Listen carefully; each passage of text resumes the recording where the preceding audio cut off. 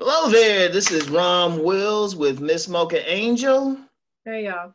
Hey. Insecure review, low key losing it. Mm-hmm. What were your first thoughts, dear? Everybody was losing it a little bit. Everybody, just slightly, kind of like, uh, having problems in the world.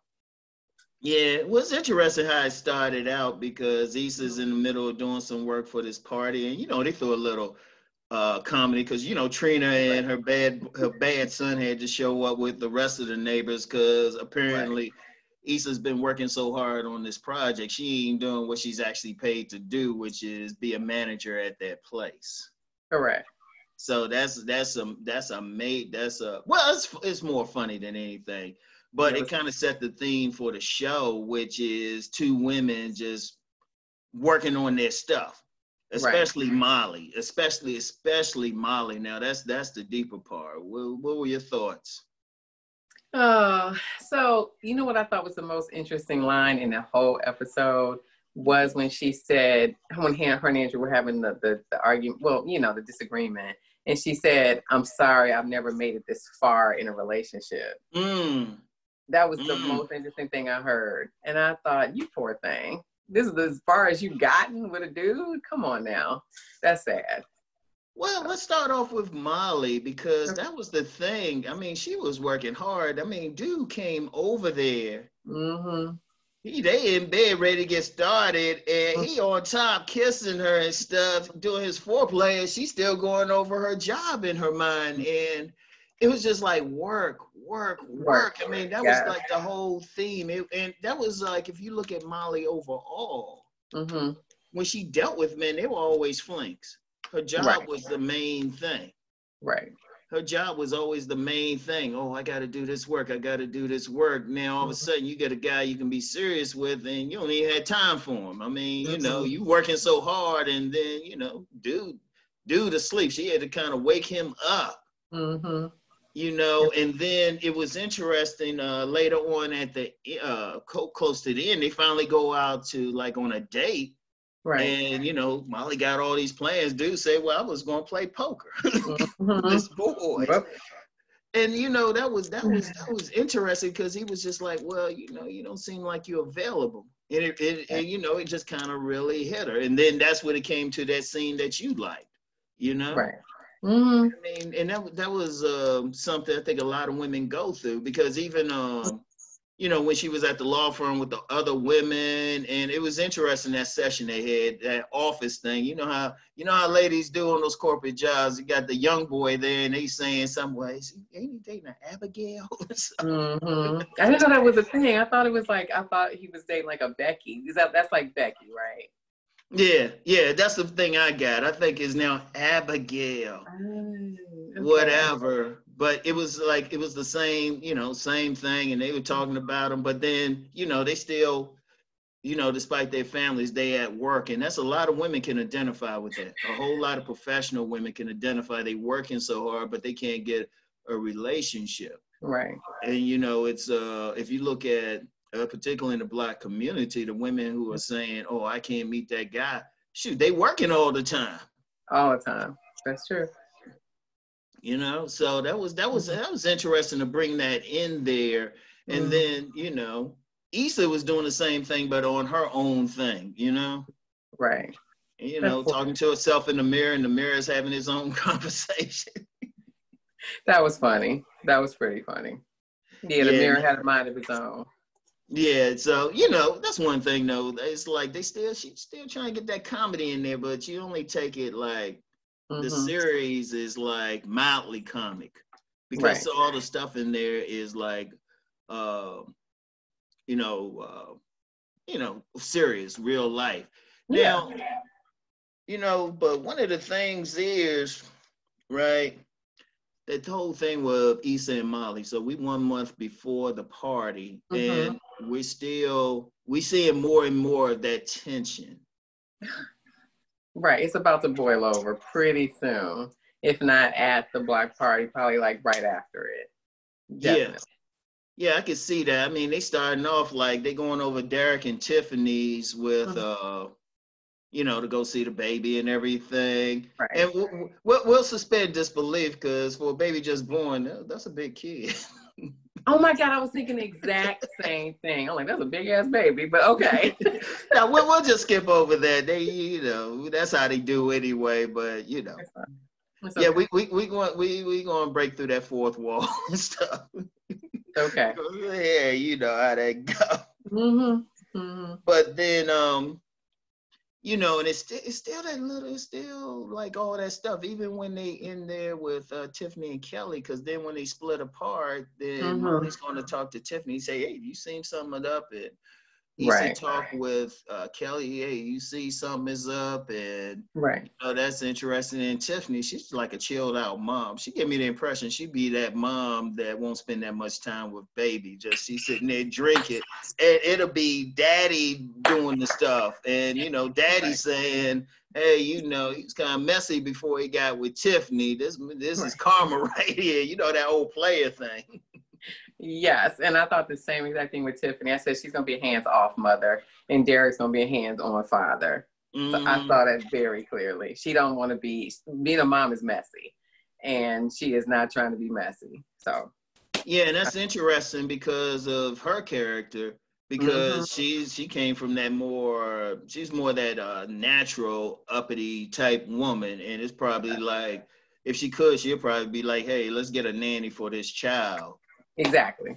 And I, I, I kind of like it. She's drinking. She's just like, yeah. She, you know, everybody else holding the baby but her. And I'm like, hmm. Mm-hmm. It's very clear that Derek will be the parent of this child. Very clearly. Yes. Mm-hmm. Yeah, so that's some that's an interesting dynamic dynamic there. But what do you think mm-hmm. about Lawrence's little part? Because that was kind of interesting. We didn't see. Mm-hmm. I'm gonna call her Condola.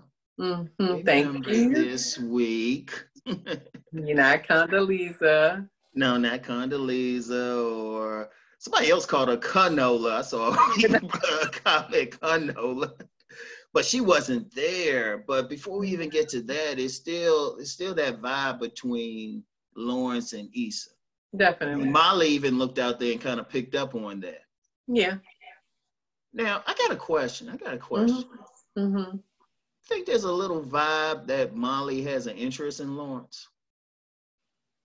No, I didn't get that at all. You got maybe that? not this one, but it's always like whenever they interacted, it was all like it, she's always like liked Lawrence and thought he was even when he was on the couch, like, oh no, nah, this is a good man and stuff. okay, I'm a oof, I'm gonna pass over a thought I was gonna say. I'll save that for off camera. So um no, no, that's not the vibe I got. I thought him and okay. Issa still had their vibe. And my question was, what did you think he was gonna say to her? That's important. Now, I was going to get to that next because mm-hmm. he was mm-hmm. like, "Oh yeah, about Condola," and it was like, you know, that's one thing. She did. She she didn't even bother contacting Issa again. That's not good.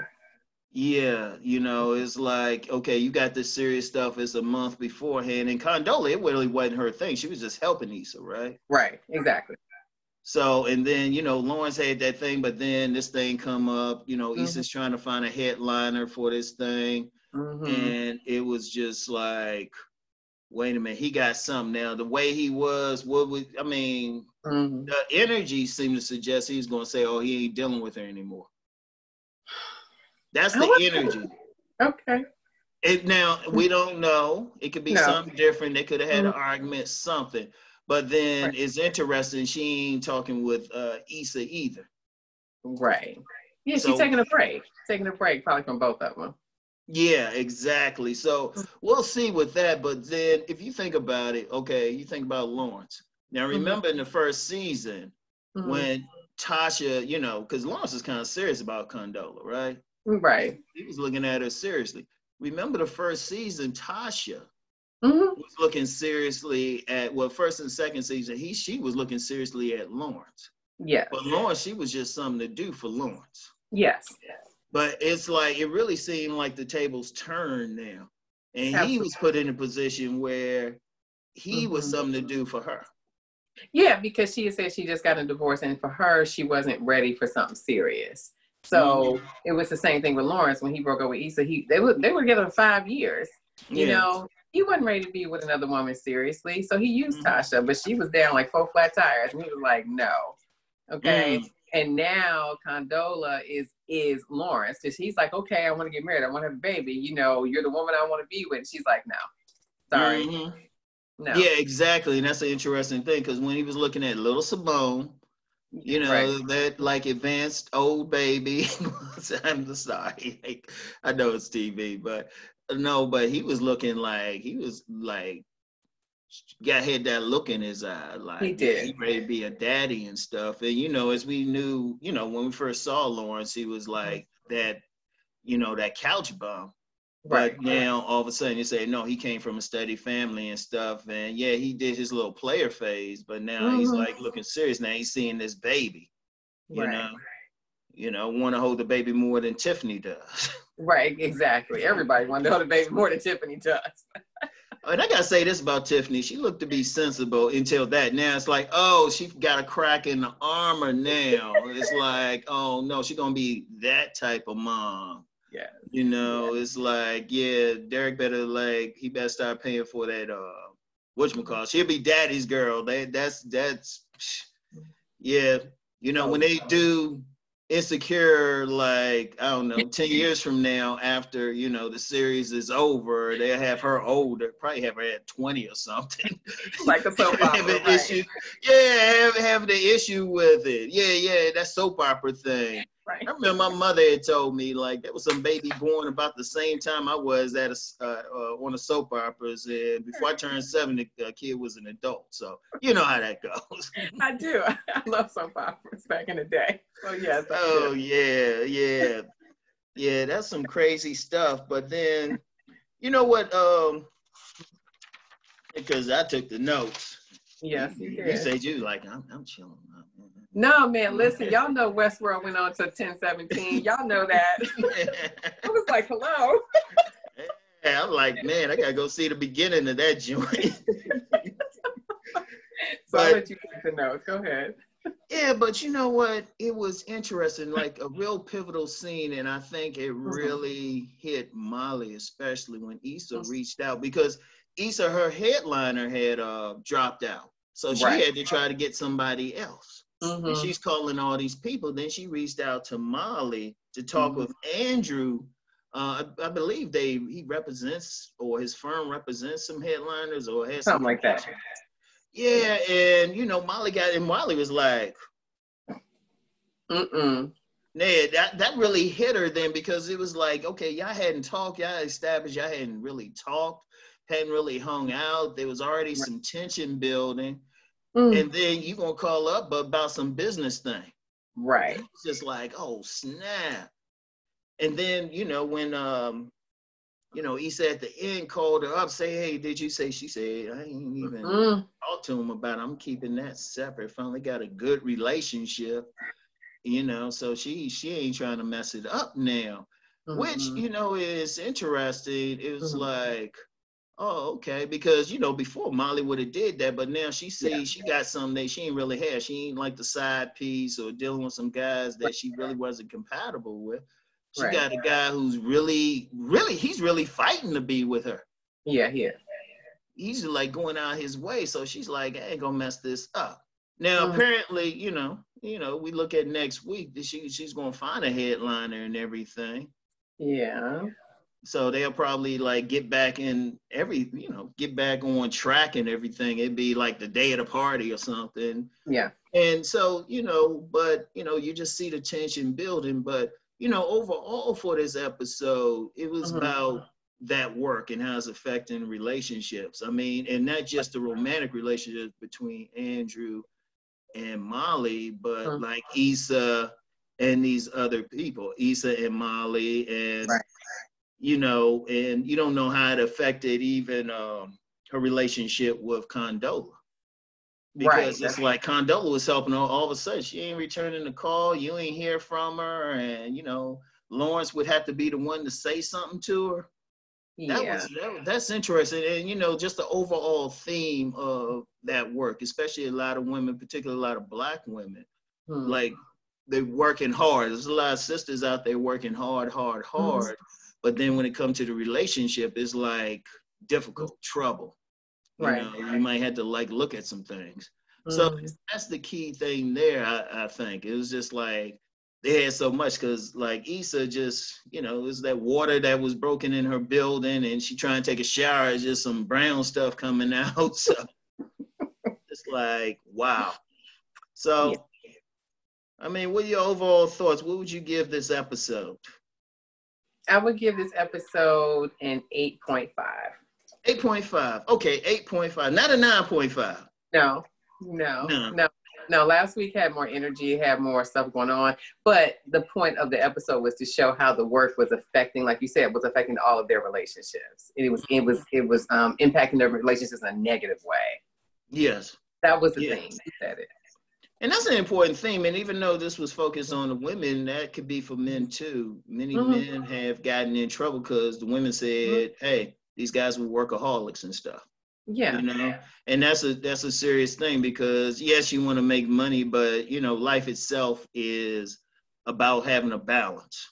Right. You know, and it's something you have to learn. I mean, workaholic Rom had to learn that. So you know, mm-hmm. you, you mm-hmm. got to have a balance. It's it's very important. Yes, you want to make that money, but that's the thing. And then you know, just the other relationships are affected by that. You know, not just the romantic ones, but the friendships. You know, Issa and Molly, they having this thing, and it's like, well, what's what's going on? What's what's happening? And it's like. Mm-hmm they so caught up in their other stuff. I mean, their friendship, regardless of what people think, they always there for each other. And that friendship, that's that's the key relationship in life. Like your friendship, your uh your spiritual family. That's the right. key one. So we'll see how that goes because now, you know, it probably come to a head next week. But you know, mm-hmm. since they still have some episodes, we mm-hmm. don't know how to end up. Right. We don't know how they end up. And just as an aside, uh Mm-hmm. Insecure has been like renewed for season five. I saw that today. I saw that. Yes. So they ain't, you know, stuff still ain't over. uh no. Oh, no. one thing I forgot to mention. Yeah. Speaking of relationships, they sneaking him back in. Oh my, oh my God, we forgot about Nathan. yeah, he calling up and stuff, and she was kind of like, she was she was kind of like uh, neutral, mm. but you know there had to be some interest because it's mm. interesting. And you know what? You know what? Let me just go on this tangent. Uh, okay, go ahead. Because you know how fans of the show, especially women, hate Lawrence. Yes. I mean, they hate that brother, and you know, he because he was on the couch at first, and then got himself together, and then got all these different women and all of that. But at least he got himself together doing stuff. Right women going crazy over Nathan. It's like, I hope he come back in. I said, he ain't had no job. Okay, since you brought pretty boy. wait, wait, wait, wait, wait, wait, wait. So let me defend him because I actually remember a comment from last season that somebody made to us about Nathan. And mm-hmm. she said that she couldn't believe that we missed the mental health piece because he had survived Hurricane Harvey. Mm. And she was like, no, this dude suffered a trauma and that's what he's going through. He lost everything. Okay. And I'll never forget that comment because I was like, that was a really good point. So mm. I'm gonna defend him a little bit. I, I was hard on him last season, but mm. when I mm. read that, I didn't comment because I usually don't comment on other people's comments, but I did see it. And I said, let me remember that for next time. So he was going through a lot and he really okay. wasn't emotionally available for her. And he probably still isn't but he still cares about her clearly. Okay. He wouldn't have called her, or maybe he's just trying to get some hell. I don't know. Mm-hmm. But the mm-hmm. point is, he's on. She's on his mind. Mm-hmm. So we will okay. see where that goes. Yeah, those light eyes don't have anything to do with it, right? I'm just, I'm just saying. I'm just saying you know, if dude look like I don't know Flavor Flav or something, they probably be like, "Girl, don't don't mess with him." Y'all know that, but we ain't gonna go there. That might be a whole other conversation. yeah, you done this. Okay, good. Yeah, you okay? Yeah, you had to turn that off just so see you laugh. I'm just saying, you know what I mean. I know what you say. Yeah, he's fine. Okay, he's fine, Rom. Uh-huh. Okay. Mm-hmm.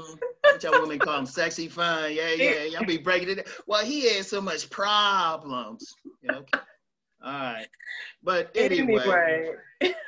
you know what? That was a pretty good episode. But now we we'll probably get to see. Okay, what brings us back? We gonna get back to the beginning, but then that's a story mm-hmm. element. You know, get back to why she said like this is over. Who mm-hmm. now? And now it becomes like, okay, who's she mm-hmm. talking to? Is she talking to Lawrence when that stuff happens? Like her and Molly ain't cool no more? It might not be Condola. Like at first you were like, oh, is she talking to Condola? But now we'll figure it out. And then mm-hmm. whatever story question is after that, do they do they like reconcile? Mm-hmm. And you know, even though we said it's pushing mm-hmm. it, where mm-hmm. Lawrence and Issa gonna be? True. Yeah, and you know, while Derek taking care of the kids, what's Tiffany out doing? You know, drinking, drinking. You know, yeah, she might she she might be hollering at that bougie pretty boy. Yeah, right. yeah, we know something going. And Kelli just a mess. She just down for whoever. So, Whatever. and we ain't even gonna talk about uh, what's that? What's that child? Trina. She always. Oh, she was funny. Yeah, she, her son was hilarious. They gave him the best line in the show. Mm-hmm. How old are you? that was great. Mm-hmm. But anyway, though, that's it. That's it, y'all. So this is pretty good. Thanks again for mm-hmm. you know reviewing it, and for everybody, we'll be, be we'll be back next week. So y'all know what's up. Mm-hmm. Peace and many blessings to y'all, y'all. Take care, y'all. Bye. All right.